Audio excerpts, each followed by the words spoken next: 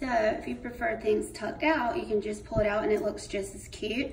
Um, I just kind of like it tucked in because it shows the um, the top of the skirt, which is really pretty. And this sweater is so dang soft. I mean, oh my gosh.